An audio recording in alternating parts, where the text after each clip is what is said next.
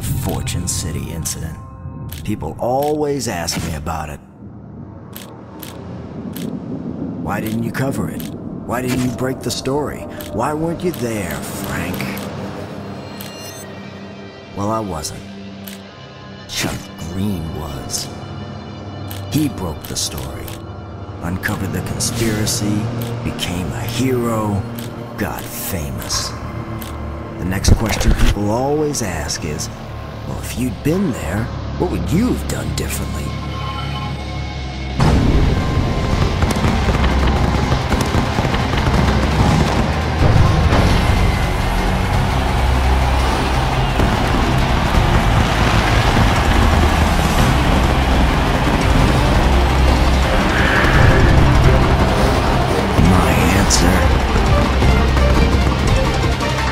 Everything.